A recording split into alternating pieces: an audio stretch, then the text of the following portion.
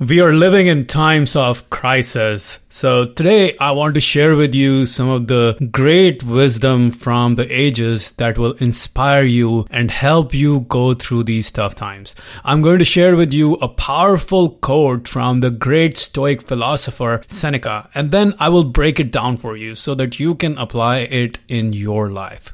Here is what Seneca said, and I quote him. He says, I judge you unfortunate because you have never lived through misfortune. You have passed through life without an opponent. No one can ever know what you're capable of, not even you. Let me break this down for you. He said, I judge you unfortunate because you have never lived through misfortune.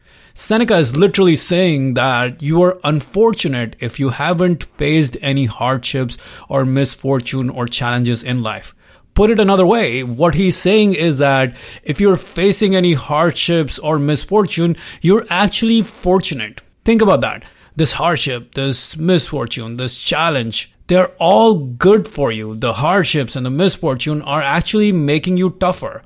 It's the easy times that make us weak. And then Seneca says, You have passed through life without an opponent. No one can ever know what you are capable of, not even you. You see, if you have passed through life without any major opponents or misfortune or difficulty, if you haven't really stared at those hardships and misfortunes in their face, you have no idea what you're capable of. You have no idea how strong you are. What Seneca is saying is you will only know what you are truly capable of when you are faced with hardships and misfortune. That is the only way to find out what you are truly made of, my friend. So, why are you scared of the misfortune, the hardships, the challenges, the difficulties?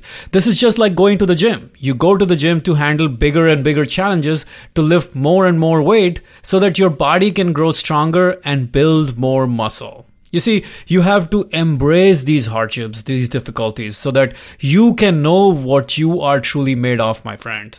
You have to embrace the crisis so that you can grow stronger in face of these challenges.